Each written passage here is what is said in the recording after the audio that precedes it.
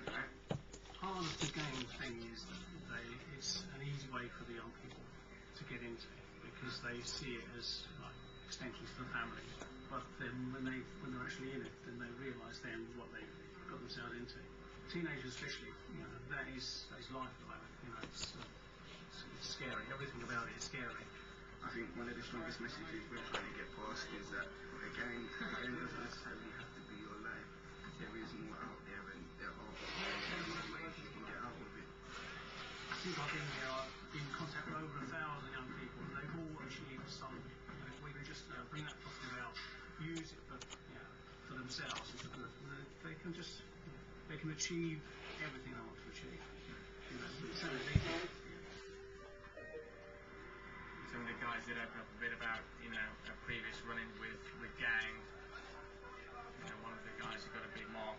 side where he uh, so it's a pretty horrific story.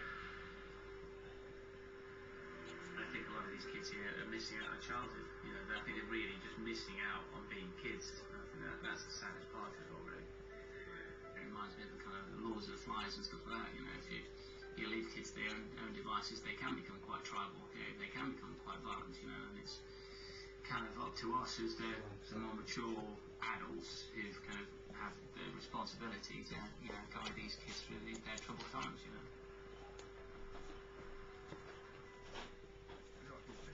Shocked by the news of the stabbing of one of the young boys at the Peckham Park Youth Club, Dominic's back to see Andre to find out how he's doing.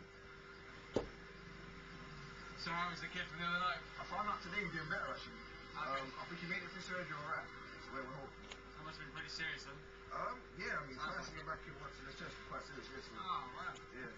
But again, he made it through surgery, which is the main thing, so yeah, he should be alright.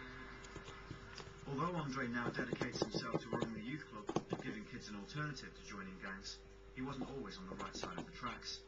The older ones, they used to go to Brixton they used to fight the Brixton ones. Like whoever they could catch them, catch them and fight with them.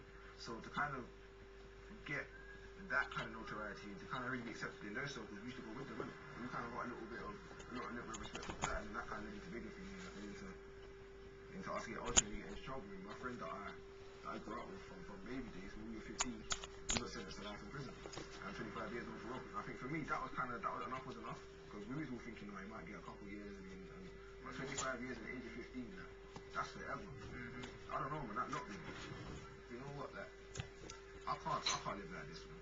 Is it get out? You think? if you can make someone believe in themselves enough and really genuinely feel that they can do something much bigger and better and make that something that's desirable to them, then they will go to any lengths to make that happen.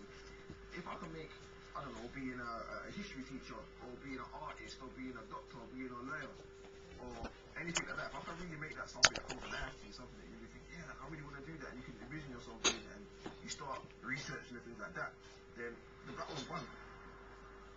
You know, he has turned himself around, and that shows great strength of character.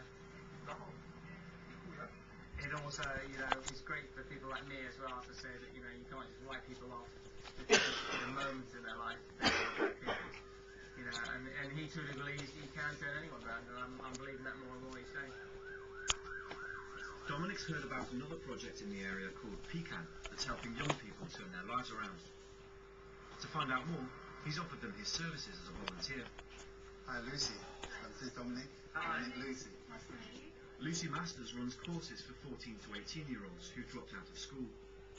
if there was something that um, Billy didn't understand, he'd be able to um, come speak to the caseworker or one of the training managers. Okay. It's quite a stark contrast to the school environment, which many of them struggle with.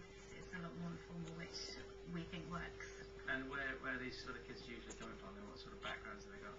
A lot of them will have quite difficult family backgrounds. Some of the stories that we hear can be horrific at times. Mm, like mm. you just sometimes you can't believe that a 14 year old or a 15 year old could go through. Hi, Dominic. Okay. Dominic's going to spend some time helping 16 year old Billy, who fell behind at school while caring for his terminally ill mum. Uh, which of the portfolio are the input devices? Which one? I don't know. I definitely the CD-ROM. CD-ROM. Uh, and definitely the scanner. Scanner. Mm-hmm. CD-ROM. Incorrect. I think I need to get back to school. How did you come to this place in the, in the first instance? my um, welfare lady from school So, like, she put me onto it, to where I couldn't go to school. So, You having problems at school, Ian? yeah, proper back problems. Also, the problems you have at school, uh, being threatened to be stabbed and everything. So. Really? Dominic wants to find out more about Billy's story. About two and a half years ago, gang members come up to me and asked if I wanted to join their gang. And I said no, and This was in the street around Camberwell, wasn't it? What sort of problems did that cause you? Like my mum was ill in bed in the front room, and they said uh, started throwing stones at the window. And ever since then, it's just carried on. But when I went back to school after my mum died, they was friends who stabbed me and stuff. So it's still carrying on, but just can't get no worse, I suppose. I was feeling so angry when Billy told me the story. You know, that was my main emotion, was, was anger, really. It kind of reminded me of the school I went to, and there were some bad lads within the school who were hell-bent on causing trouble, and at, at times, you know, I felt that I hadn't got people to really turn to. You do feel like they've got times during my childhood, I kind of felt that way, and it kind of reminded